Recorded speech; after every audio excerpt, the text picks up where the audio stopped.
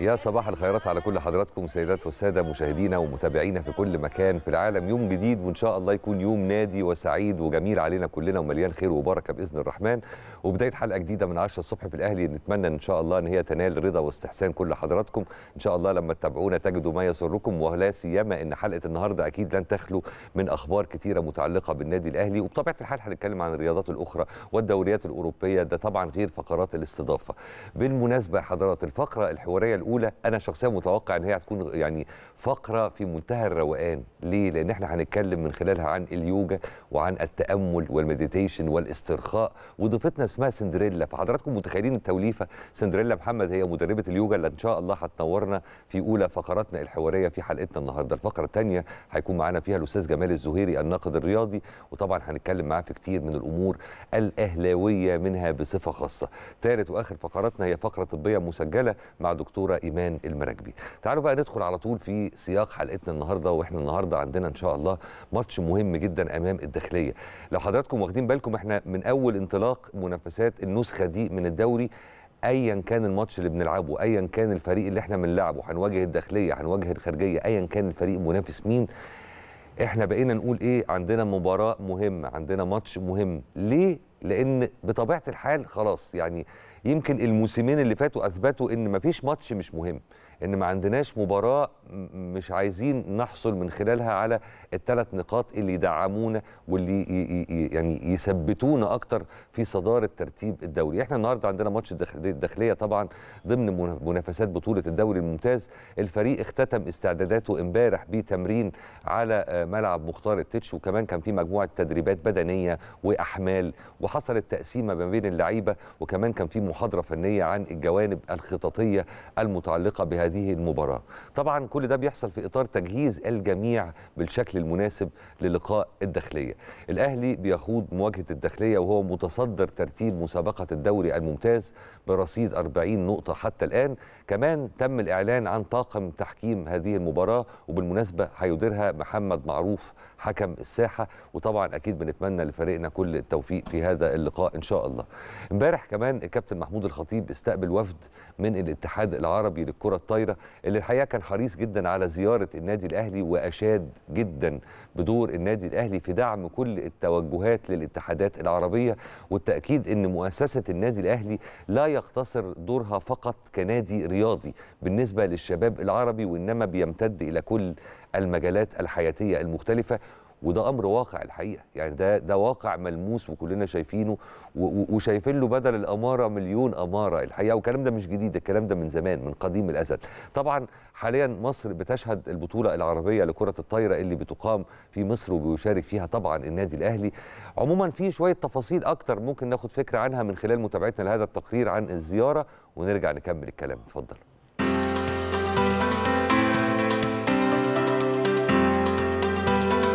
اليوم الزيارة كانت هدفها الأمانة الإشادة في دور النادي الأهلي في دعم كل التوجهات بالنسبة للاتحادات العربية. كون مؤسسة نادي الأهلي لا تعتبر فقط نادي رياضي بل هو نادي يشمل جميع المجالات وبالنسبة لجميع الشباب العربي.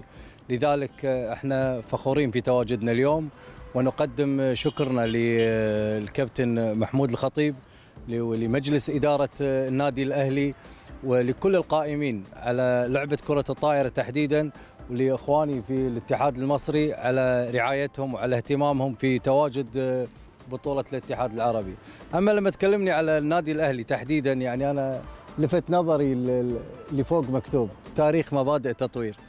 النادي الأهلي أكبر من إني أنا أتكلم وأقدر يعني أوصفه خلال دقيقة أشرح وأوجز في الكلام. ولكن إحنا سعيدين اليوم جدا في تواجدنا في هذا الصرح الرياضي وكذلك في زيارتنا للرئيس محمود الخطيب. نادي الأهلي متواجد على مستوى سواء كان الاتحاد العربي أو في البطولات القارية والأفريقية والأولمبية كذلك.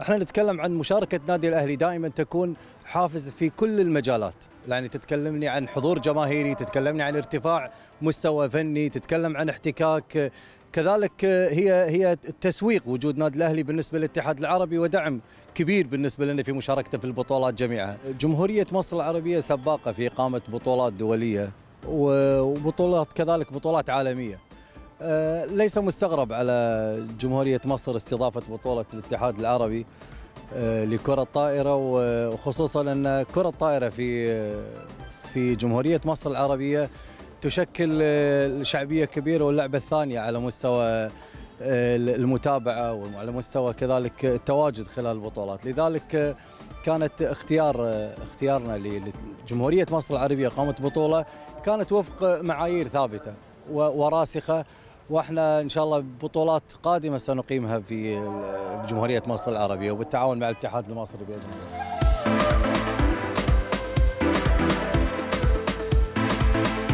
الشرف طبعا وجودنا في النادي الأهلي النهارده. النادي الأهلي قيمة وقامة. آه، وطبعا آه، لبينا دعوة الكابتن محمود الخطيب. آه، وكان ال- الوزير العام فوق برضه كان في انتظارنا. والله يعني حاجة جميلة إن يبقى في برضه إحنا متواجدين كبطولة عربية بالنادي الأهلي والنادي الأهلي برضه يبقى عنده الفكر إن هو يستضيف برضه رئيس الاتحاد العربي ورئيس الاتحاد المصري عشان برضه يرحب بيهم يعني. دي تعتبر أول بطولة تتنظم آه، في وجود المجلس الحالي. وكان طبعا أنا كنت دايما حابب إنها تتعمل في مصر على أساس مصر هي تعتبر أكبر بلد منظم للبطولات العربية والأفريقية عشان تبقى برضه ايمج كويس لل... للاتحاد الجديد يعني بما إني كمان نائب رئيس الاتحاد العربي يعني. آه، طبعا أكيد مبسوطين طبعا آه، لأن طبعا كابتن محمود الخطيب قيمة وقامة وتاريخ يعني. فطبعا هم بالنسبة لهم طبعا هم مجرد إن هم يقعدوا مع الكابتن الخطيب ويشوفوه وي- ويقعدوا معاه دي حاجة بالنسبة لهم حاجة جميلة قوي يعني. لا إن شاء الله النادي الأهلي آه، التوقعات إن هو يكسب البطولة إن شاء الله. النهارده الماتش بالنسبة له بيلاعب رابع المجموعة الثانية فإن شاء الله النهارده هيكسب وإن شاء الله بكرة كمان يكسب. ونلعب ونشوفكم إن شاء الله في الفاينل إن شاء الله يوم الخميس إن شاء الله ونبارك لكم مقدما يعني.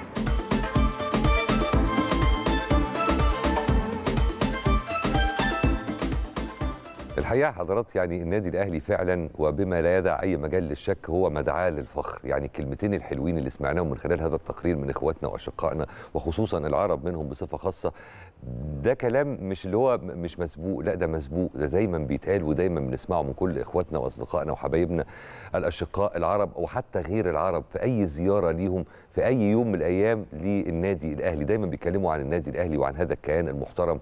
وعلى فكرة رقي وتميز النادي الأهلي متقدر تقدير عالي جدا من الكل. الحقيقة فالحقيقة فعلا هو فخر لكل من ينتمي لهذا الكيان النادي الأهلي العريق المحترم.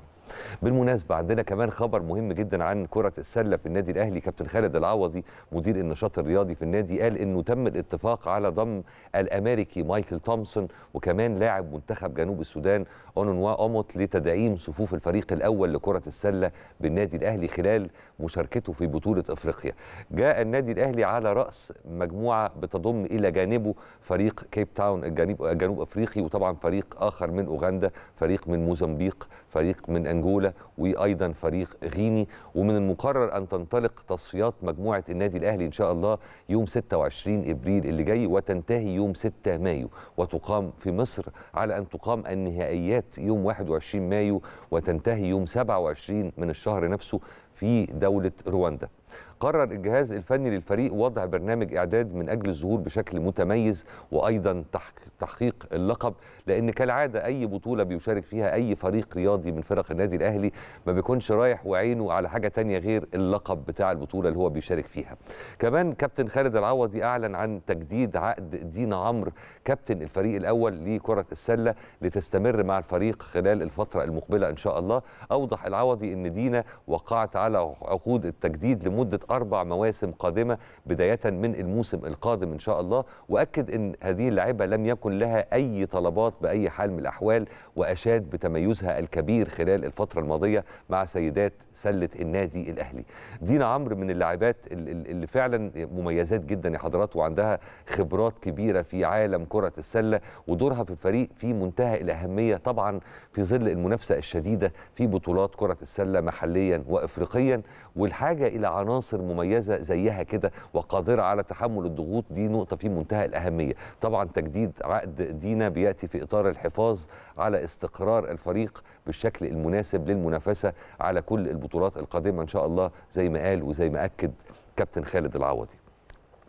تعالوا بقى نروح لموضوع مختلف حبتين وهو الحدث الأبرز اللي حصل امبارح طبعا حفل The Best اللي بينظمه الاتحاد الدولي لكرة القدم فيفا في مدينة زيورخ السويسرية.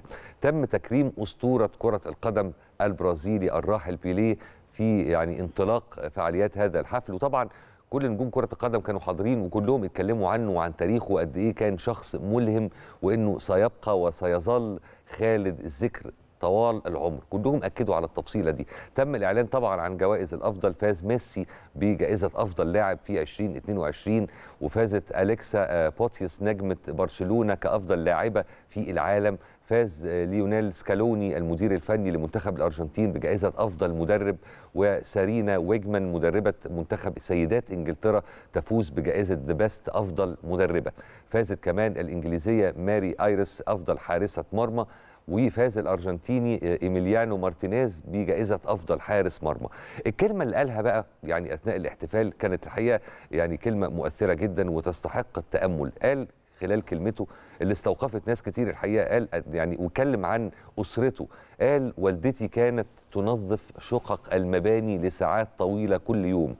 والدي كان يعمل ويكافح من أجلي لذلك هم قدوتي في هذه الحياة وطبعا يعني أكيد الكلام ده ينطبق على كتير من أهالي نجوم كرة القدم حول العالم. دي دايما وراها قصة تضحيات كبيرة من الأب والأم.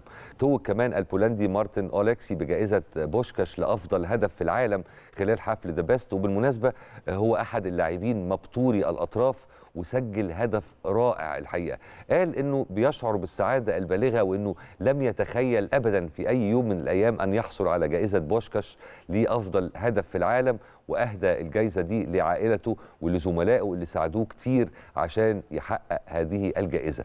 كمان الجمهور الأرجنتيني نفسه اخذ جائزه أفضل جمهور في عام 2022 أما منتخب العالم فطبعا ده حدوتة كبيرة أفضل 11 لاعب في العالم لعام 2022 طبعا من ضمن الأسماء اللي, ذكرت اسماء كلها منطقي جدا إن هي تكون موجودة يعني يعني طبيعي جدا نشوف كورتوا في حراسة المرمى أشرف حكيمي فان دايك دي بروين ميسي مبابي بنزيما هالاند. فالحقيقة يعني ال ال ال 11 اسم مفيش اسم ممكن نختلف حوله كتير.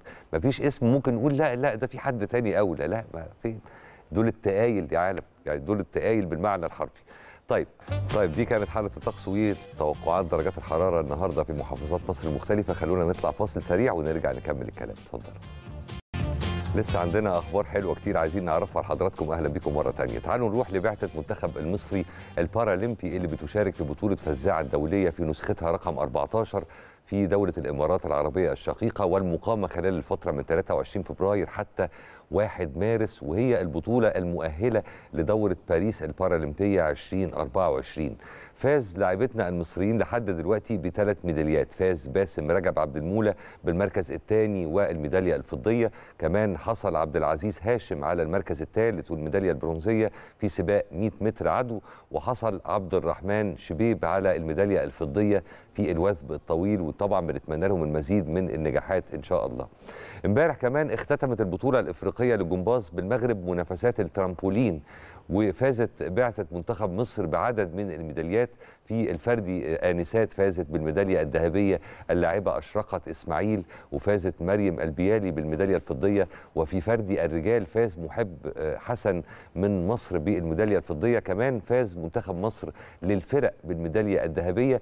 وبالمناسبة يعني كمان المغرب هتستضيف البطولة الإفريقية للجمباز الفني رجال وانسات في مايو 2024 وهي بدورها البطولة المؤهلة لأولمبياد باريس 2024 المنتخب المصري للجودو بيشارك في البطولة العربية للمنتخبات المقرر إقامتها في الدوحة خلال الفترة من 3 وحتى 5 مارس المقبل إن شاء الله. حقق منتخب الجودو خلال الفترة الأخيرة الحقيقة نتائج مميزة جدا خلال مشاركته في البطولات الإفريقية والدولية المختلفة وشهدت البطولات المحلية طبعا للمراحل العمرية المختلفة مشاركة أعداد كبيرة من اللاعبين المصريين. نروح بقى للبطولات اللي هتستضيفها مصر إن شاء الله الفترة اللي جاية ودي من ضمن الحاجات الحلوة جدا. الحقيقة بقى لنا فترة بنتكلم مع حضراتكم إما عن يعني انتهاء مصر من آه، استضافتها لفعاليات بطولة أثارت إعجاب كل الحاضرين وكل المشاركين وكل المتابعين يا إما استعداد مصر لتنظيم بطولة جديدة وده اللي إحنا بصدده حالا. الاتحاد المصري للرماية بيستعد لاستضافة ثلاث بطولات مختلفة هي كأس رئيس الاتحاد والجائزة الكبرى وكمان بطولة إفريقيا التاسعة للأطباق المروحية. الكلام ده هيحصل إمتى؟ هيحصل في الفترة من 2 وحتى 5 مارس وهيشارك 250 رامي في هذه البطولات الكبرى وهيكونوا قادمين من 8 دول مختلفة. الحقيقة إن يعني الاتحاد الدولي للرماية بيثق ثقة عمياء في قدرة مصر على استضافة البطولات الدولية بعد طبعا ما نجحنا في استضافة منافسات البطولة العربية للرماية من حوالي أسبوع وبعدها بطولة كأس العالم بندقية ومسدس. كل دي حاجات بتقول إن إحنا ماشيين على التراك ال- الطبيعي اللي المفروض نكون ماشيين فيه لأن إحنا دولتنا تستحق كده مقوماتها تستدعي كده. كتير جدا من الناس وقفوا كمان في الفترة الأخيرة يعني ودي كان من ضمن متطلبات تنظيم مصر واستضافتها لفعاليات كتير من البطولات في الرياضات العالمية المختلفة. حتة البنية الرياضية التحتية التفصيلة دي إحنا كنا اتكلمنا عنها قبل كده أكتر من مرة والحقيقة إنعكاساتها ابتدت أهي تتوالى. كل شوية بنتكلم عن إيه؟ عن نجاح مصر في تنظيم فعاليات ما لبطولة رياضية ما ودايما بيكون الكلام مقترن بثناء من كل المشاركين في هذه البطولة. ربنا يديمها علينا نعمة إن شاء الله.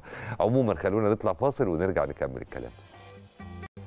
عودة العشرة الصبح في الأهلي. أهلا بكل حضراتكم في أولى فقراتنا الحوارية. لو تفتكروا إحنا كنا من من كام حلقة فاتت كنا عرضنا لحضراتكم فيديو جراف اتكلمنا من خلاله عن اليوجا وعن أهميتها وعن انعكاساتها على حياة وتفاصيل الحياة اليومية لكل الأشخاص اللي بيمارسوها. إحنا في الفقرة دي بقى عايزين نتعرف أكتر على فوائد اليوجا وبشكل تفصيلي من خلال ضيفتنا اللي منورانا في آه، أولى فقراتنا الحوارية الأستاذة سندريلا محمد مدربة اليوجا. صباح الفل على حضرتك صباح وأهلا بيك. النور. أهلا بحضرتك. أخبارك إيه؟ كله تمام؟ الحمد لله. منوره قناة الأهلي. ميرسي نورك. ربنا يخليك. ميرسي. إحنا عب يعني عايزين نعرف أكتر عن اليوجا. في في ناس عايشة حياتها لليوجا وباليوجا.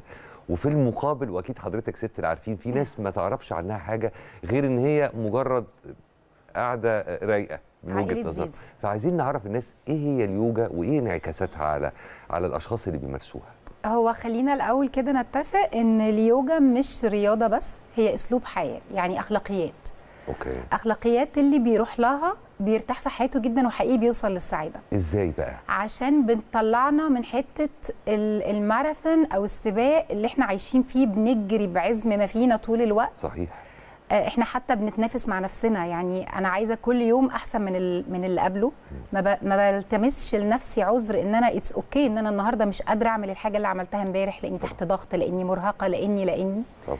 فده بيخلينا طول الوقت مش عارفين نستمتع بلحظة الحاضر اللي إحنا فيها. أنا بحس إن إحنا مستهلكين يعني مستنزفين الدنيا يوميا وخصوصا فكرة الجري ورا لقمة العيش والناس اللي بتشتغل شغلانتين وثلاثه والناس اللي عشان توصل شغلها شغلها أو تروح منه بتاخد لها مواصلتين ثلاثة كل دي أمور بجد مجهده للنفس إلى جانب طبعا الإجهاد البدني. هل هل لليوجا يعني أي أيادي بيضاء في في الملف ده. جدا. زي ما قلت لحضرتك هي أسلوب حياة فأنا أقدر أعمل كل ده وأشتغل شغلانتين وثلاثه وأركب مواصلتين وثلاثه وأنا بقى بعمل اليوجا في حياتي لأن هي فيها جزء آه، جسماني أو بدني وفيها جزء تاني روحاني أو نفسي. أوكي. فلو أنا اشتغلت على الجزئين دول معناها إن أنا هقدر أعمل أي حاجة في حياتي وأنا بعملها بمنتهى السعادة والرضا وهيبقى عندي نوع من أنواع التقبل. فاستقبالي للأمور هيختلف. فبدل ما استقبل الأمور مثلا بغضب أو زعل أو بعدم رضا استقبالي للأمور لما هيبقى برضا كل حاجة في حياتي هتتغير هوصل للسعادة.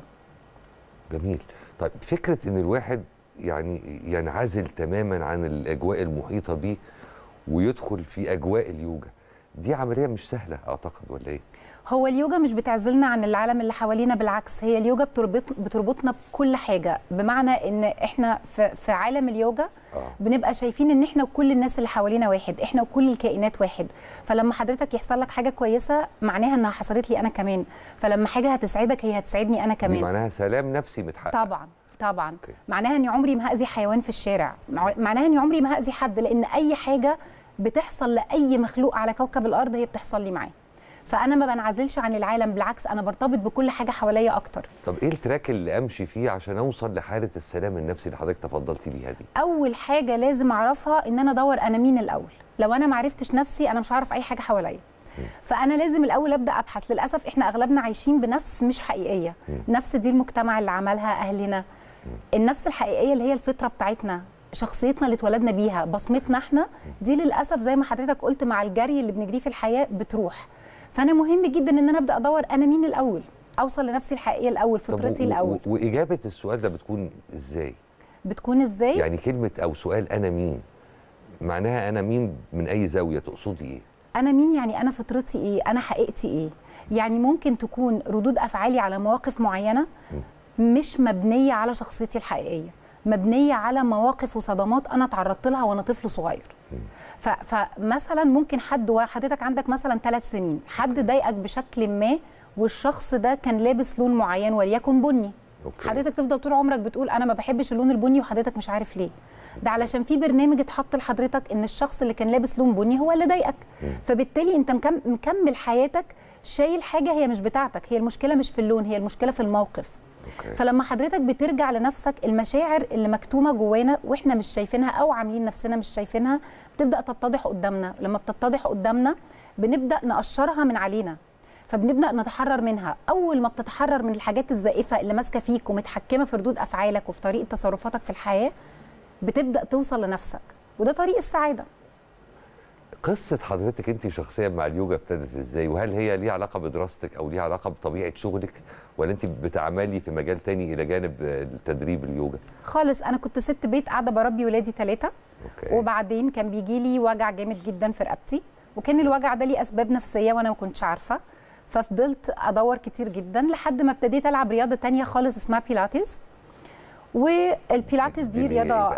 رياضة رائعة الحقيقة اخترعها إيه؟ برضه من باب الفضول يعني عبارة عن إيه؟ هي عملها أو اخترعها آه، شخص اسمه جوزيف بيلاتيز ألماني كان عمل نوع كده يعني اخذ حاجات من اليوجا واخذ حاجات من الباليه وحاجات من الأيروبكس وحط لها مبادئ إن هو يبدأ يساعد بيها الجنود وهم راجعين من الحرب أو ال- الناس اللي عندها أي injury إصابة أو أي حاجة. okay. والحقيقة لما ابتديت ألعبها وقعت في حبها اليوجا دخلت حياتي بالصدفة جدا لأني لما لعبت البيلاتيز أخدت فيه كورسز مع مدارس كندية وابتديت أدرس وعلشان أزود شغلي قلت أما آخد يوجا كمان حاجة كده. صدفة بحتة يعني أي بس لما رحت لليوجا وعرفت قد إيه هي بتغير حياة الناس قد إيه هي بترجعك لنفسك تاني وبطرق بسيطة جدا وقد إيه هي مفتاح سعادة الحمد لله كملت فيها بقى. مرتبط اليوجا برضو بإن الشخص اللي بيمارسها هو عادة من الناس الرايقة ودايما في ارتباط شبه شرطي بين اللي بيمارس اليو... يعني ممارسي اليوجا وبين كونهم من المجتمع المخملي بشكل أو بآخر ذهنيا عند الناس. دي ناس رايقة يا برنس وما شايله هم حاجة. عارفة الفكر ده؟ إلى أي درجة الفكر ده خاطئ؟ خالص. هو الحقيقة اليوجا لكل الناس بكل الشخصيات المختلفة بكل الأعمار بكل ال- الأوزان. مفيش حد نقول له ما تلعبش يوجا.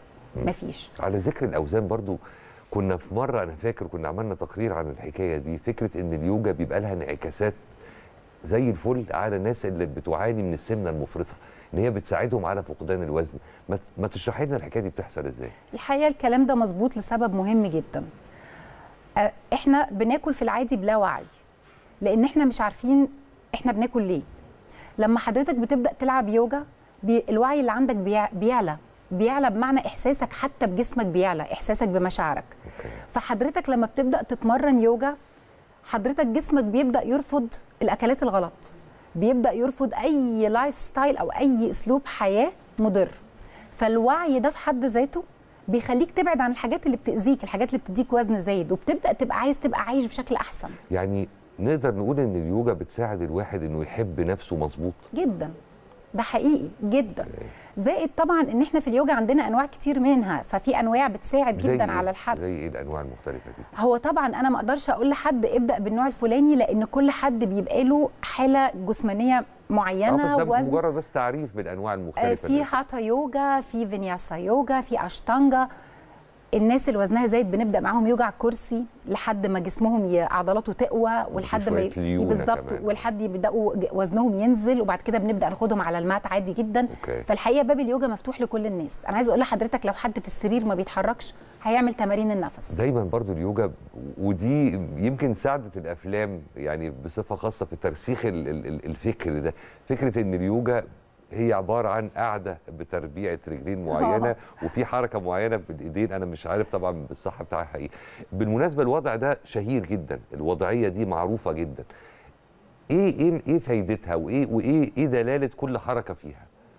هو لو هنتكلم على الوضع اللي إحنا بنبقى قاعدين ومربعين فيه رجلينا آه. اللي هي الو- الوضعية اللي زي ما حضرتك قلت كنا بنشوفها في فيلم عقيد زيزي مثلا. آه، بالظبط كده.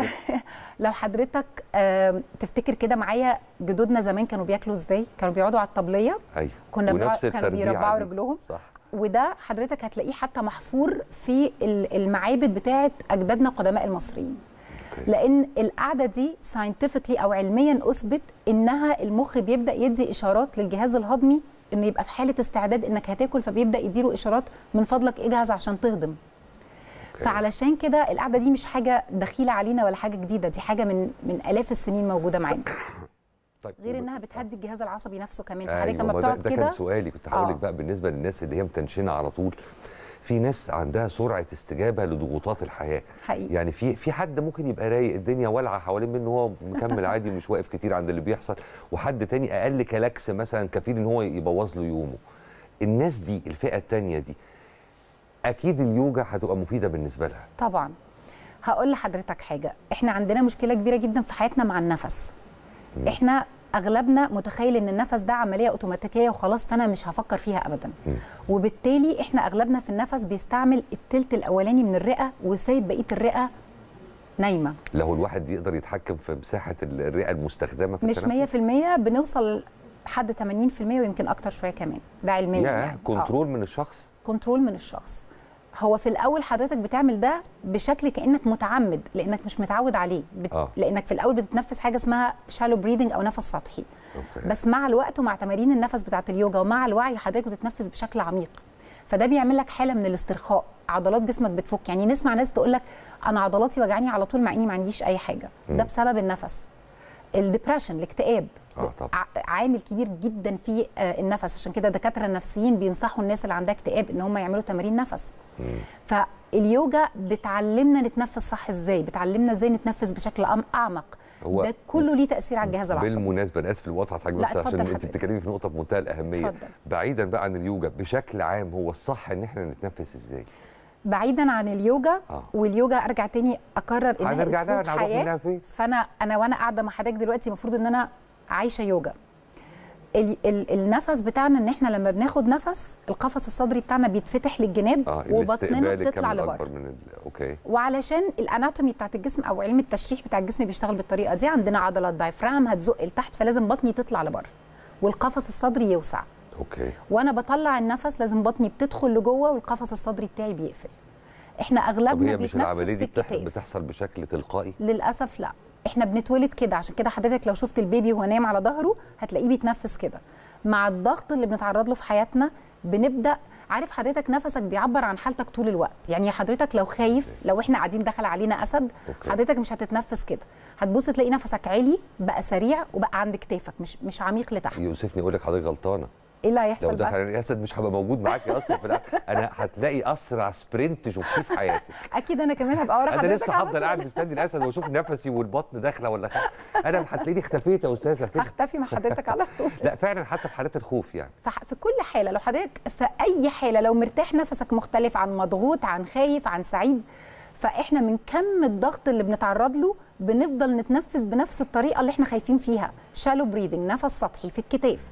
فأنا مش واخد كفايتي من النفس مش واخد كفايتي من الأكسجين. عايزة أقول لحضرتك اما الناس بتجيلنا في اليوجا ونعلمهم يتنفسوا صح ويبدأوا يتنفسوا صح يقول لك أنا كان عندي insomnia أنا ما كنتش بنام عندي أرق ليلي.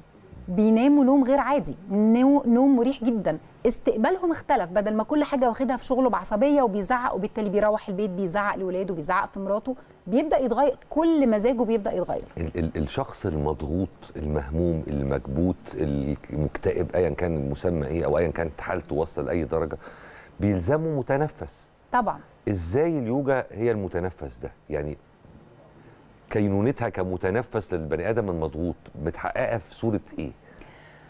الناس لما بتتمرن يوجا على المات حضرتك بتتعلم حاجة جميلة قوي جوه التمرين. اللي هي؟ إني أنا مش حاطط نفسي لا في مقارنة ولا في منافسة مع أي حد في الكلاس. بمعنى أنا لسه بتعلم هقف إزاي؟ لأن إحنا في اليوجا بنعلم الناس من أول هيقفوا على قدمهم إزاي؟ وحضرتك بتتمرن بقالك كذا سنة فحضرتك ما شاء الله عامل حاجة رهيبة جدا واقف على رجل واحدة وعامل حاجات صعبة وأنا لسه على ال mat بتاعتي بتعلم أقف إزاي okay. أنا بطلع بعد فترة من التمرين متعلمة إن أنا مش داخلة سبق مع حد okay. وبالتالي أنا بتقبل نفسي وبتقبل الناس اللي حواليا ده بيخليني بره في حياتي العادية بستقبل بشكل مختلف. بعرف أتنفس فبعرف دي أهدى. حتى ممكن تخلي رؤيتك للأمور نفسها تختلف. تماما تماما يا فندم. كل حاجة بتتغير. بدل ما ابني يخبط حاجة وهو بيلعب في البيت فأروح مصرخة جامد جدا. هو أنا حقيقي مش بصرخ عشان هو خبط حاجة. أنا بصرخ لأن أنا مضغوطة جدا وما صدقت بقى في حاجة آه طبعا. أنفس فيها عن أيوة. الغضب اللي جوايا. أنا كل ده بيتغير تماما. بالمناسبة تنصحي ال ال ال الأمهات بصفة خاصة. إن هم يمارسوا اليوجا حتى ولو على يعني لفترات قصيرة كل يوم من. منطلق إن الأم بتبقى دايما مضغوطة طبعا سواء كانت أم عاملة ولا لأ في الحالتين الأمهات الحقيقة دايما عليهم لازم. حمل كبير قوي إحنا عندنا ال- الأمهات كده كلنا وأنا كنت من ضمن السيدات دي الحقيقة إن إحنا بنبقى متخيلين إن إحنا حياتنا كلها لازم تدور حوالين ولادنا وبس مم. لأ هو أنا من حقي جدا إن يبقى لي مرتين بس في الأسبوع ساعتين ليا أنا لوحدي أروح أعمل فيها حاجة ولادي مش طرف فيها خالص. وده لمصلحة الأولاد بشكل أو بآخر. قبل أي حاجة لأن كل ما أنا هبقى إنسان بتحسن من جوه وبسعى إن أنا أبقى سعيدة وراضية وهادية كل ما هدي ولادي أحسن. وكل ما أربيهم على إن هم مطمئنين مش قلقانين. صحيح. ودي حاجة مهمة جدا خصوصا آه في الجيل آه الصغير. لأن زي ما حضرتك عارف هم حياتهم كلها عنف من من لعب التمثيليات بيتفرجوا عليها ال games آه، على ال mobiles بيلعبوها فهم كمان محتاجين يلاقوا جو هادي في البيت. أكيد. طيب ال- اليوجا أصلا يعني خلفيتها إيه؟ ابتدت فين؟ ومن خلال مين؟ وهل شكلها اتغير واتطور مع الزمن ولا زي ما هي؟ اليوجا حضرتك لو شفت كل الدول العريقة اللي عندها حضارات كبيرة لازم تلاقي عندهم يوجا. هو إحنا متخيلين إن هي عند الهند بس. هو الحقيقة حضرتك لو رحت مثلا الأقصر في المقابر الرائعة بتاعة القدماء المصريين ونزلت اتفرجت جوه هتلاقيهم راسمين الأوضاع بتاعة اليوجا. وفي كتب اللي متبقية طبعا حضرتك هتلاقيهم بيتكلموا فيها على التنفس. آه، لو حضرتك رحت المكسيك هتلاقي نفس الكلام في الهند نفس الكلام في كل الدول اللي عندها حضارات قديمة عريقة لازم هتلاقيهم بيتكلموا عن اليوجا. بس لكن ال- المنشأ الاصلي المنشأ الأصلي ال- في م- محدش عرف علميا يثبت هي يعني أولها فين. هم حتى okay. التاريخ بالظبط مش عارفين يحددوه إذا كان 5000 سنة أو ياه. 10000 سنة كمان آه آه. لأن هم كل ما بيكتشفوا مكان بيلاقوا في مكان تاني حاجة أقدم شوية okay هو الحكاية إن الكتب اللي اتحافظ عليها أكتر مكان عرف يحافظ على الكتب بتاعته كان الهند مم. فعلشان كده أي علم لليوجا بنرجع في أغلبه للهند أغلبه مش كله okay. طبعا لأن في مخطوطات وفي. توثيق لل... للبدايات لكن هناك. هي كمان إحنا مصرنا القديمة الجميلة اليوجا عندنا يعني باستفاضة طبعا أوكي. طبعا. حضرتك مدربة يوجا طب ال- اللي بتدربيهم من أنهي فئات عمرية؟ يعني مين أكتر الناس اقبالا على آه، تعلم اليوجا وممارستها؟ والله الخبر الجميل إن دلوقتي الإقبال على اليوجا مع من كل الأعمار. يعني دلوقتي في يوجا للأطفال. حضرتك التين ايجرز أو المراهقين بقوا مهتمين جدا. آه الأعمار بقى العادية لحد 60 و65 و70 سنة. الحمد لله كل الناس دي دلوقتي بقى عندها وعي وبتدور على ورجالة أكتر ولا سيدات؟ آه الأول لحد قريب لحد 3 4 سنين فاتوا كان أكتر. سيدات أكتر. آه. دلوقتي الحمد لله بقى في رجالة وبقى في رجالة مدربين ودي حاجة طبعا آه الرجالة محتاجين اليوجا قوي زيهم زي الستات. بس يعني في في رجالة كتير مش مش مستوعبة الفكرة. يعني فاهم إزاي؟ عشان متخيلين إن اليوجا قاعد مكانك بس لما بيجوا يجربوا ال- اليوجا والتمرين والحاجات دي بيعرفوا إنها مش للسيدات بس ولا إيه حاجة. إيه أكتر حاجات اتقالت لك من الناس اللي أنت دربتيهم في, في أي مرحلة من المراحل؟ وبعد فترة لما شافوكي يتكلموا معاكي عن انعكاسات اللي انت دربتيهم عليه على حياتهم والله في حاجات بتخليني أعيط بالدموع حقيقي يعني مثلا في بدايات خالص تدريبي ما انساش ابدا إن في سيدة فاضلة جت قالت لي أنا كنت بتمنى أصلي وأنا واقفة وبقالي 10 ياه. سنين بصلي وأنا قاعدة. ودلوقتي بصلي وأنا واقفة ما انساش ابدا بنوتة قمر عروسة كان عندها مشكلة في ركبتها فده كان مانعها تسافر مع جوزها ويطلعوا مثلا آه، جبال أو يعملوا حاجة فيها مشي أو حتى إنها تزور حماتها لأنها كانت ساكنة في دور رابع من غير أسانسير. وإنها بعد فترة من الفترات دي بقت بتعمل كل حاجة وجت تعيط برضو وتقول لي أنا ممتنة.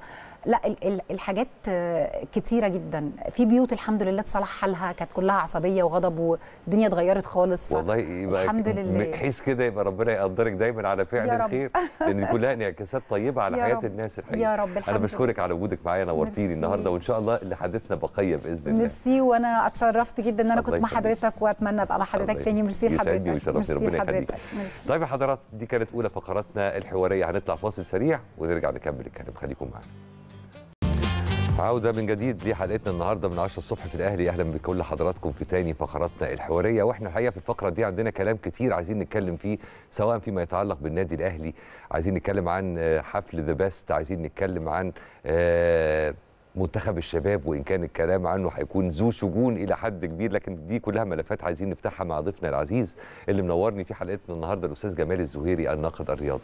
يا صباح الخير أهلا بيك أستاذ كريم صباح الفل عليك أخبارك إيه؟ كله تمام؟ الحمد لله عندنا كلام محلي وعندنا كلام دولي وعندنا إن منتخب. الشباب إن شاء الله وعندنا بعد إذن حضرتك زميلتنا العزيزة سلا حامد يبقى سلا إيه؟ الأول. عشان ما نقطعش مع حضرتك الاسترسال ماشي. والكلام يهمك. بس سلا. نعرف منها كده إيه المستجدات في النادي الأهلي ونرجع نكمل أو. نبتدي كلامنا مع حضرتك يا سلا صباح الفل عليك زميلتنا سلا حامد من مقر النادي الأهلي بالجزيرة صباح الفل عليك يا سلا اتفضلي إحنا سامعينك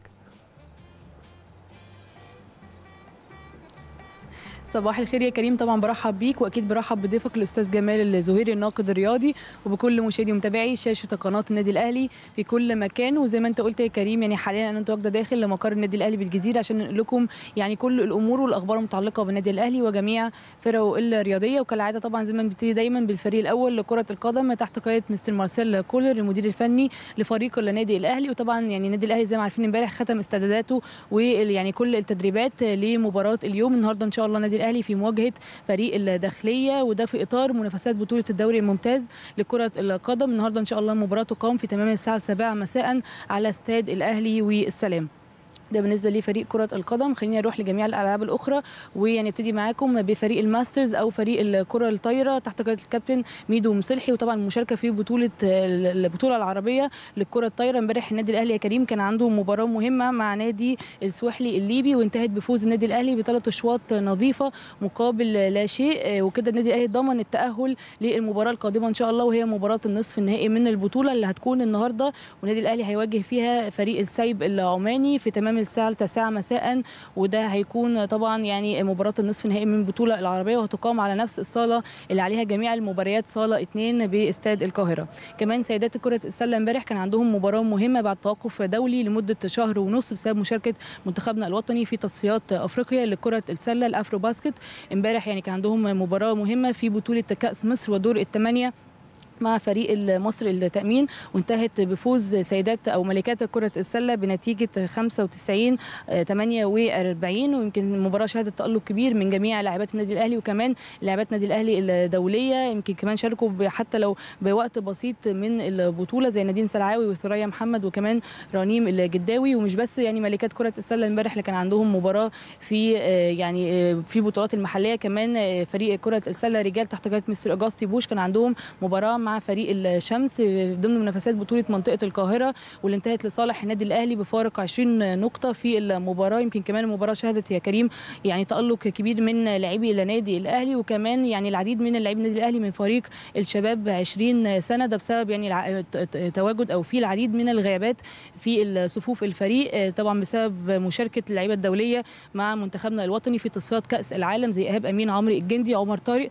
وسيف سمير. فيعني كانوا غايبين عن مباراة أمس وكمان إصابة أحمد إسماعيل وعبد الله ناصر بيدو فبسبب كل يعني أو بسبب جميع الغيابات دي قرر مستر جاسي بوش إن هو يصعد العديد من اللعيبة من فريق ال 20 سنة تحت قيادة الكابتن ماجد سلامة. وكده النادي الأهلي بعد مباراة أمس تأهل للدور الثمانيه من البطولة بطولة منطقة القاهرة وهيواجه فيها إن شاء الله فريق الزهور يوم الخميس القادم على صالة نادي الزهور. يمكن دي يا كريم يعني كانت كل أخبارنا المتعلقة بالنادي الأهلي وجميع فرقه الرياضية. طبعا أنا معاك لو في أي سؤال والآن العوده مرة أخرى للأستوديو. أتكلم ليك طبعا يا كريم. تفضل. الحقيقة دايما أخبارك كلها جميلة يا سلا كالعادة بنشكرك على وجودك معانا النهارده. جزيل الشكر. كانت معانا الزميلة العزيزة سلا حامد من مقر النادي الأهلي بالجزيرة. طيب نروح بقى ونفتح ملفاتنا مع ضيفي العزيز اللي منورني النهارده الأستاذ جمال الزهيري. وخلينا نبتدي بعد إذن حضرتك بالنادي الأهلي. إحنا عندنا ماتش مهم جدا مع الداخلية. إيه، ماتش نقدر نقول عليه إن هو مش سهل. من زاوية إن الداخلية كما عهدناها هي فريق دفاعي مش هقول لك بحت بس أكيد. إلى حد بعيد. ففكرة اختراق هذا الفكر الدفاعي هل من ممكن يتأتى من خلال عرضيات من خلال اختراق من المنتصف؟ يعني فكرة كولر ممكن يخترق الدفاع آه، الفريق المنافس إزاي في هي؟ طبعا طبعا آه، آه، أي مباراة بالنسبة للنادي الأهلي تبقى لها أهمية خصوصا إنه النادي الأهلي بيسعى لإنه يعني يسترد درع الدوري مرة أخرى ويحافظ على الصدارة اللي هو فيها حاليا ويمكن دي النقطة اللي إحنا دايما آه، بنبقى متخوفين منها بعد عودة النادي الأهلي من آه، أي بطولة كأس العالم للأندية. أو دوري أبطال أفريقيا. آه، يعني حتة التوازن إنك تحافظ دي مهمة جدا. و- وليه ما بتحصلش كتير. ما بت... لا هي كانت بتحصل. يعني عاده كان النادي الأهلي على طول بعد ما بيخلص بطولة بيرجع يخش في البطولة الثانية ما فيش مشاكل يمكن حصل بس في الموسمين الماضيين لأسباب برضو آه، آه، إجهاد اللاعبين بس برضه يعني- كمال يعني آه. ساعات بتبقى الحكاية معكوسة يعني لو آه. انت لو انت مثلا آه، كنت منغمس قوي في البطولات آه. المحلية واخد بالك وتطلع بطولة عالمية وبتلاعب مدارس كروية مختلفة أكيد. وفرق فرق تقايل العالم آه. فتهتز أمامهم ممكن يكون في شيء من المنطق في الحالة دي آه. لكن إحنا بيحصل معانا العكس يعني بن بنحجر جامد مع تقايل العالم وبعد كده نرجع على الدوري المحلي. ما هو لأن لأن انت عشان تلعب على مستوى كأس العالم للأندية آه، بتقابل مستويات آه، عالية. طبعا فبيبقى في جهد أكبر مبذول من اللعيبة. طبعا. فيعني زي ما تقول إيه بيستنزفوا طاقتهم في ال- المعنوية والبدنية في والفنية في انه هو. عاوز يعمل حاجة بدليل. إن في لعيبة كتير كانوا بيبقوا ممكن يبقى بعيد عن مستواه محليا ويجي في البطولة العالمية يحاول يتألق. يطلع كل اللي عنده. طبعا. آه لكن الشحات من الناس دي. بالظبط. يعني هو بيبقى متألق محليا. وعالميا بس عالميا. آه. بيتحول. بحاجه تانية آه خالص. طبعا. آه، آه، هي الفكرة بقى إيه؟ إنه خلاص ال- الأهلي رجع وخلص كأس العالم للأندية ودخل مباشرة على الدوري ودوري أبطال أفريقيا. آه، آه، آه، ومن هنا بقى يجب الحرص على كل مباراة خصوصا المباريات الأولى اللي هو بيلعبها. شفناه أمام أسوان قدر الحمد لله يحقق النادي الأهلي فوز كبير. بعد كده عنده مباراه الداخلية حتى على مستوى دوري أبطال أفريقيا كان في شوية اهتزاز يعني لأسباب برضو خارجية شوية. أيوة. في مباراة الهلال السوداني. طبعا آه ثم آه مباراته من الأخيرة. بالظبط. بالظبط. حاجات صعبة جدا آه، الحقيقة حقيقة. ونتمنى إنها ما تكونش موجودة. طبعا. آه آه، بعد كده مباراته قدام آه آه سان داونز آه برضو أعتقد إن النادي الأهلي كان ممكن يعني يحقق أفضل. يعني كان ممكن المباراة كان سيناريوهاتها صعبة جدا. آه، لغاية ما النادي الأهلي قدر إن هو يتقدم 2-1 وهنا بقى تيجي مشكلة أخرى إنه إزاي أنت لما تتقدم في توقيت معين حافظ على ده. آه. طبعا. زي ما بيقولوا كده ب- بلغة أهل الكورة تموت اللعب آه طبعا. بحيث إن أنت تحتفظ بهذه النتيجة خصوصا إن ال- المباراة أكدت إن هناك بعض المشاكل في الأداء الدفاعي الدفاع في يعني. فكان لازم يبقى في السيناريوهات دي تتوقف بمجرد إن أنت تحرز هدف التقدم قبل قبل ما نقف عند الدفاع لأن آه. دي برضو نقطة تستحق. التأمل الحقيقة آه طبعا. في الفترة الأخيرة بس رجوعا برضو للنقطتين اللي آه. حضرتك تفضلت بذكرهم ماتش أسوان وماتش سان داونز نعم. ماتش أسوان آه، كولر ابتدى بكهرباء آه. وفي ماتش سان داونز كان الدفع في البداية آه. ببيرسي تاو آه. فهل هل دي فيها دلالة ما أو إشارة ما إن كولر لا أنا بيحب شخصيا بفضل يعني آه. آه. يعني يعني أنا بشيد بكولر في في الجزئية دي وفي نفس الوقت آه، أتمنى تثبيت التشكيل. يعني أنت عندك لما يبقى في لعيب متألق النهارده هتلعب بعد ثلاث أيام. لو هو ما عندوش مشاكل بدنية أو إصابة أو غيره يستحسن إنك تبتدي بيه. ليه؟ أنت لازم يبقى عندك آه، آه، دفع ومؤازرة للاعب اللي بيجيد. وكل ما ثبت التشكيل آه، قد يكون حتة التدوير مهمة برضو في حاجات. أكيد ما طبعا يعني أنت عندك مجموعة اللاعبين اللي هم بيلعبوا تحت رأس الحربة اللي هم الأجنحة الهجومية آه، مهم جدا إنك تطمن عليهم كلهم طبعا وإنه كلهم يبقوا يعني دي ميزة التدوير لكن يا ريت التدوير ده يبقى على فترات شوية آه. آه، يعني فيها حرص أكتر يعني طب في حالة يعني لو وقفنا عند الاسمين دول بالتحديد أه. في الماتشين دول بصفة خاصة اللي هو ماتش أسوان وماتش. آه، سان داونز كهربا وبيرسي تاو. هل أه. نقدر نقول من خلال كده إن إن إن كولر بيميل شوية للمهاجم الوهم الوهمي أو اللي هو اللي مش صريح قوي؟ آه أو اصل راس الحربة الوهمي؟ طبعا لأن لأن في أحوال كتيرة جدا آه، قد يكون في ظل وجود عندك آه، مشكلة الناس كلها معترفة بيها الجميع يعترف بيها مش على مستوى الأهلي فقط على مستوى الدوري كله. قلة ال- المهاجمين الهدافين اللي هم الصرحاء يعني أيوة. المهاجم الصريح. طبعا. فأنت بتبقى لازم يكون عندك آه، اعتماد على الخط الهجومي ككل. ممكن هو اللي يسجل. يعني مش بالضرورة إنه المهاجم الصريح ما هياش مهنة يعني. أيوه طبعا. يعني ما يعني آه. ما كانش بيبقى فيه مدافعين ساعات بالظبط. ولذلك في كمان مدافعين طبعا. آه، آه، أنت بتعمل نوع من الخلخلة وإحنا ما شفنا الجول الرائع اللي أحرزه محمد عبد المنعم. آه، في مباراة آه، آه، سان داونز مهم جدا. و و وأعتقد لو اتعادت ألف مرة مش هتتعمل أفضل من كده. صحيح. يعني فطبعا مسألة التهديف مهمة لكن أنا دايما بقى نرجع لماتش الداخلية. آه، أمام أي فرق بتعتمد على الناحية الدفاعية خصوصا إن الداخلية في المركز ال 15 آه طبعا. وعاوز طبعا يحصل على أي نقاط. آه أنت المفروض وانت بتهاجم لازم لا بديل عن انك تعتمد على تأمين دفاعي كويس جدا وتكون حذر جدا من الهجمات المرتدة لأن طبعا. انت بتبقى مندفع بكل قواك طبعا. الهجومية طبعا وبالتالي ال- ال- الم- المنافس ممكن يكون هو باني خطته أساسا على هذا الاندفاع يقطع كورة ويبتدي هجمه بالظبط. وممكن طبعاً. لو لو لو أحرز هدف يحطك في مشكلة طبعاً. كبيرة جدا فنرجو طبعا إنه يبقى في اهتمام بهذه الجزئية و و- ومراعاة ال- ال- العمق الدفاعي آه، حتى في حالات آه، هجومك وحرصك على إن أنت تسجل مبكرا يعني طيب ال- الفترة اللي فاتت كان في أكتر من ماتش في آه. أكتر من بطولة مختلفة محليا وقاريا نعم. كان ليهم ظروف وملابسات خاصة. بالظبط. فبعيدا عن الملابسات الخاصة رؤية حضرتك لأداء النادي الأهلي محليا وقاريا في الفترة الأخيرة بشكل عام إيه؟ آه. من غير التفاصيل اللي إحنا إيه؟ من غير يعني. التفاصيل. أهم حاجة تلفت نظري أنا شخصيا أو بلاحظها وممكن يكون ناس كتير يتفقوا معايا هي جزئية آه إمتى آه تموت الماتش.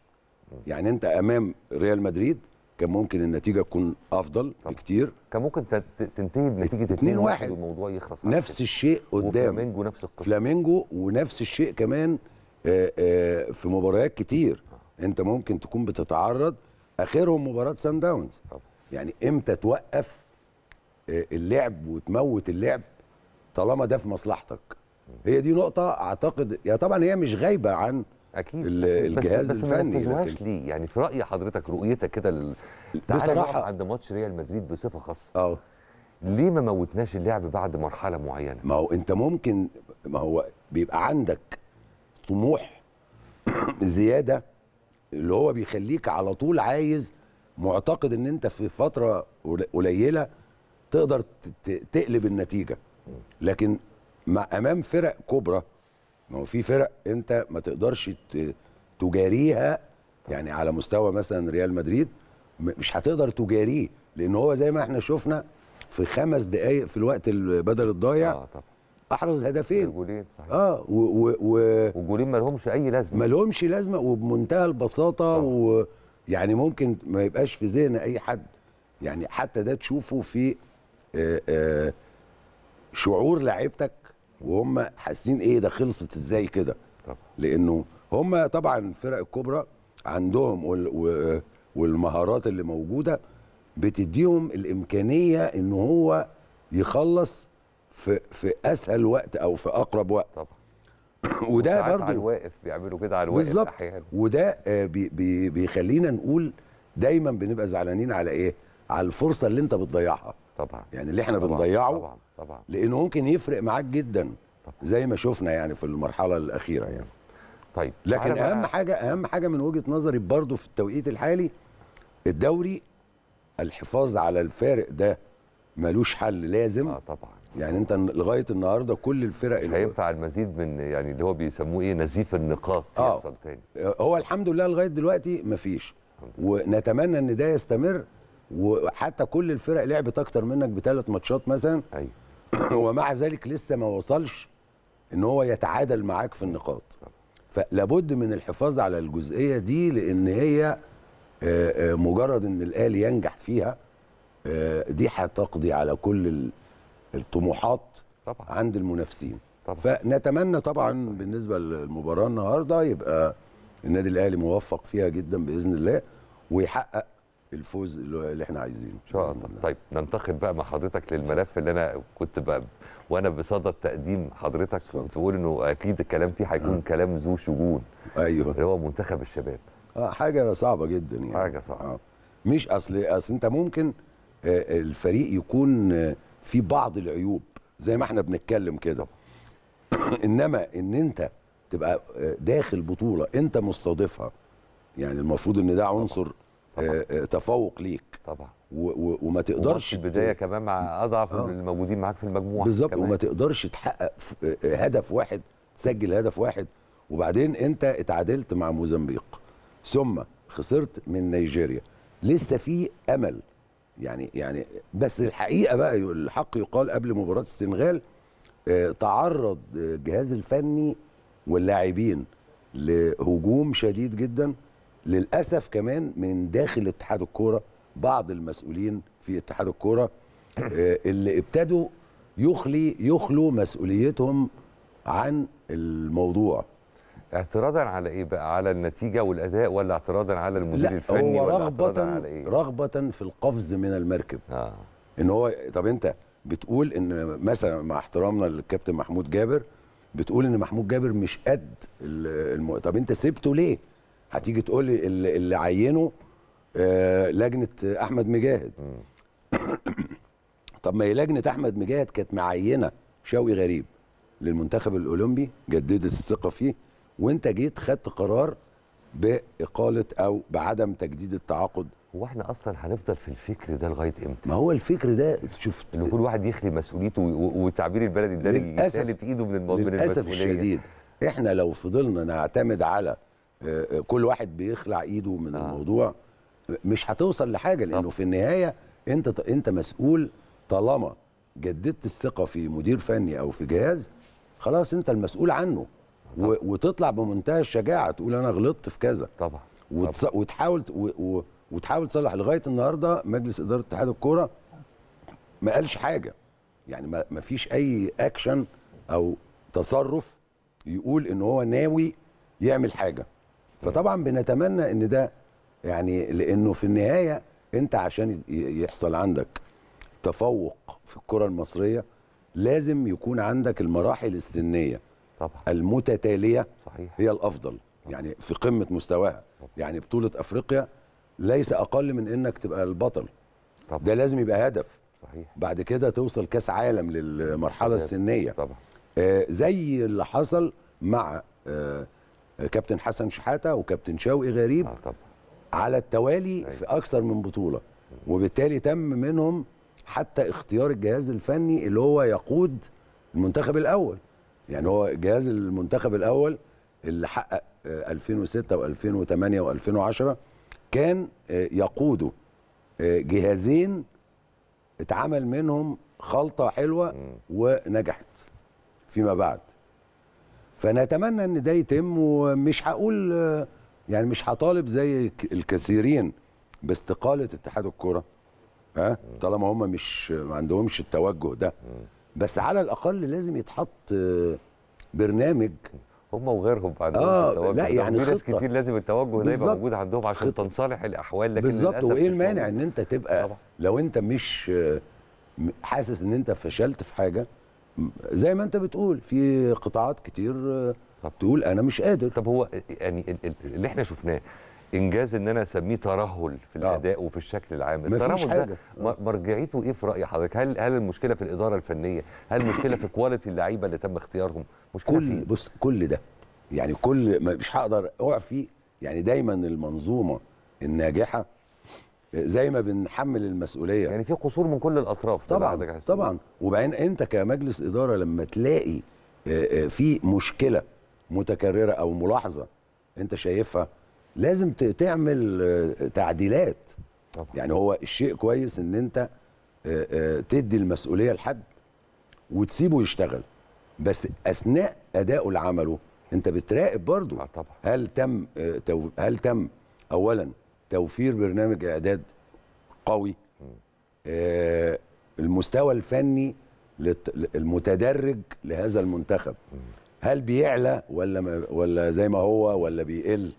هل قرارات المدير الفني سليمة فأنت تؤيده وتدعمه؟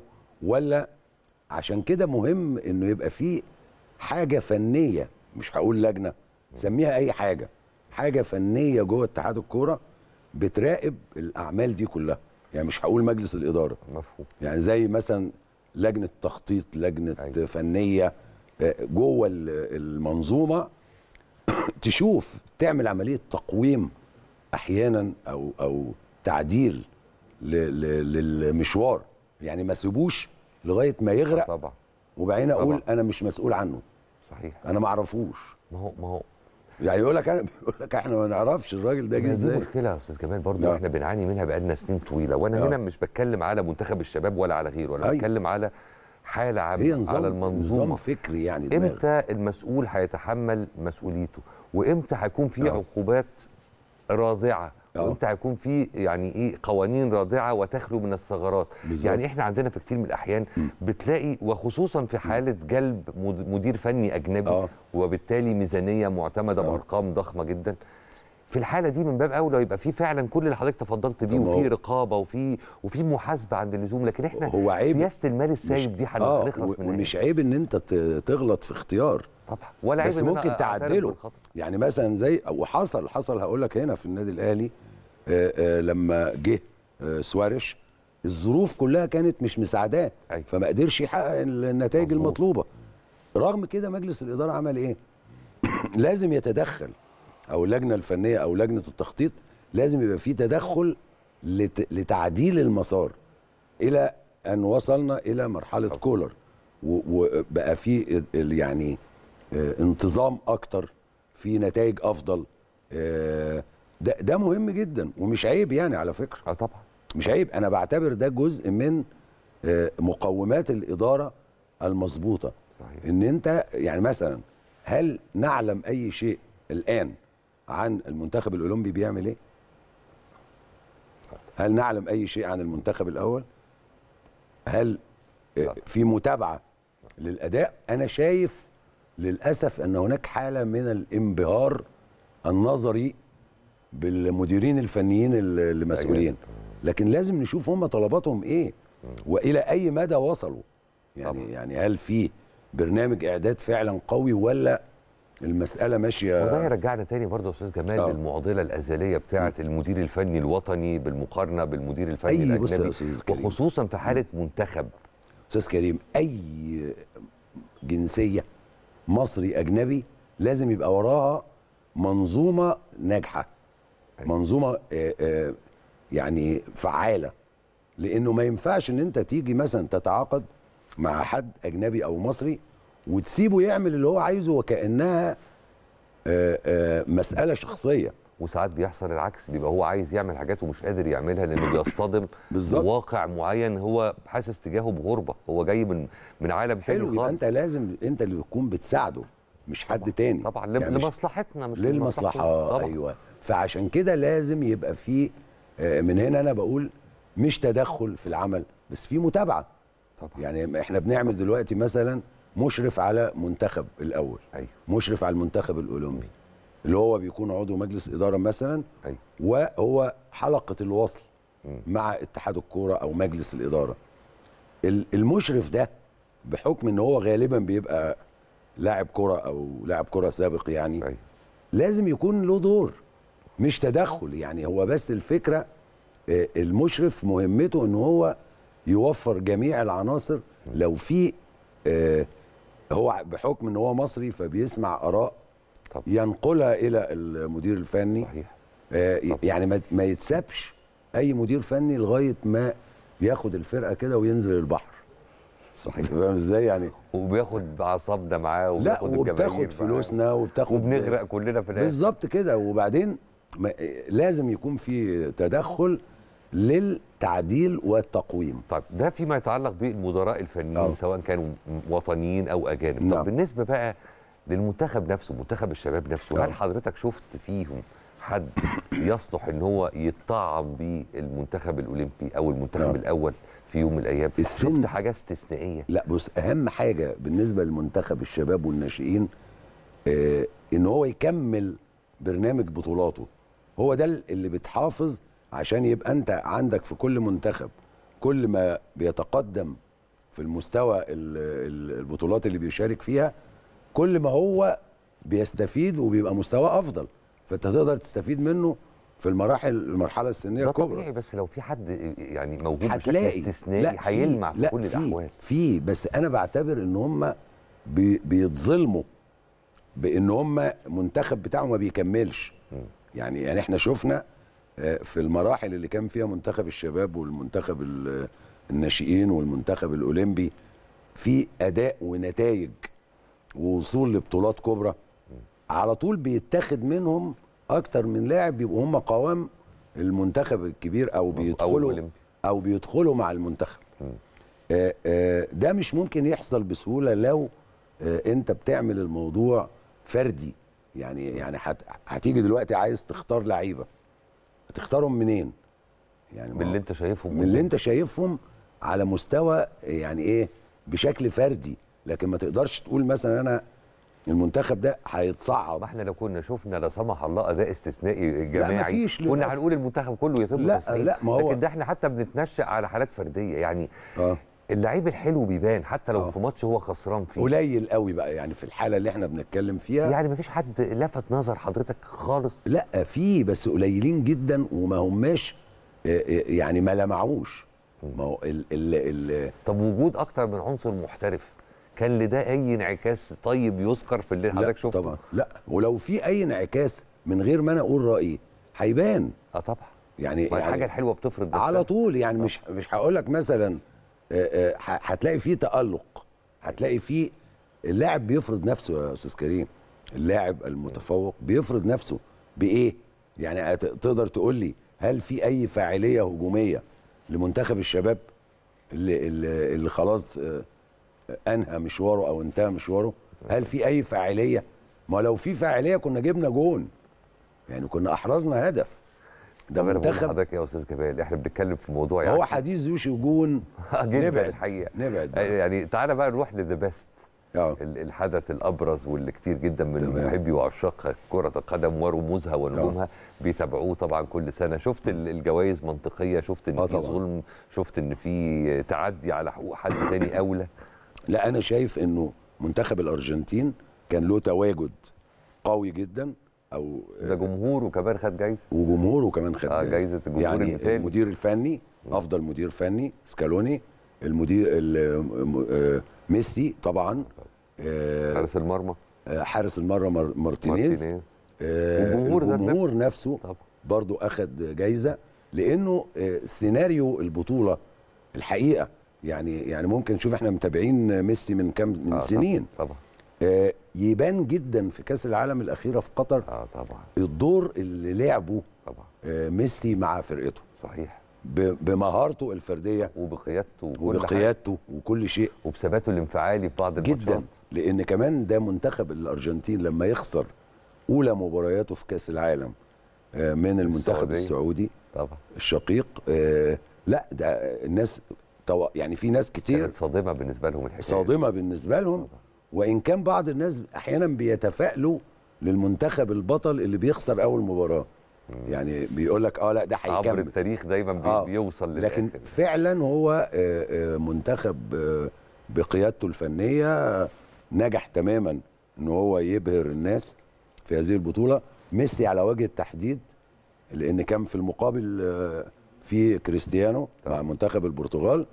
اللي أنا بقول برضو إن هو اتظلم في إن هو آه، اتعامل معاملة آه، على إن هو انتهى. هو هو ما انتهاش. هو راجل نجمه كان يستطيع تحويل الأمور أو آه، تعديل الأمور لو استمر. مبسوط من وجوده في الدوري السعودي؟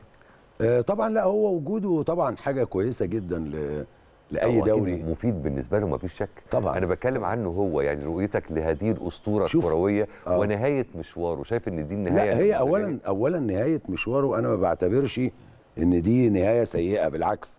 أنا شايف إن هو هو جرب كل ال- كل الأندية الكبرى واحترف وتألق.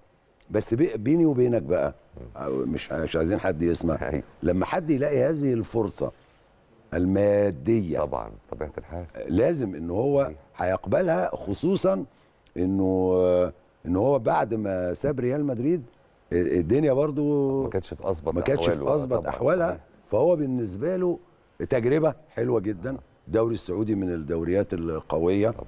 آه، بالإضافة إلى ال- الفوائد المادية آه، اللي طبعاً. هتعود عليه طبعا مفروض آه. منها كان في كلام من فترة عن احتمالية انتقال ميسي هو كمان لواحدة من الفرق السعودية آه. ورجعنا بعد كده نقرأ ونشوف أخبار بتقول إنه لا غالبا في آه. حال رحيله عن باريس سان جيرمان آه. هيروح غالبا للدوري الأمريكي الأمريكي لا هو طبعا هي التجربة نفسها ممكن تكون ملهمة لحد زي ميسي أكيد لأن ميسي النهارده برضه حقق كل أحلامه وطموحاته في كرة القدم طبعا. بحصوله على كأس العالم آه، وفوزه بلقب الهداف ولقب الأفضل كل ال- وقفل العداد الحقيقة. هو قفل كل حاجة الحقيقة. صحيح. فممكن جدا تبقى مرحلة بالنسبة له يفكر في حاجة بهذا الشكل لو العرض مغري. آه طبعا واخد بالك هو لأنه- غالبا مفيش حد هيفكر إنه يعرض على ميسي رقم مش آه. قد كده يا, يعني إما بقى عارفين كويس الحد الادنى ممكن يتعرض عليه يروح السعودية بقى كمان أيوة. يبقى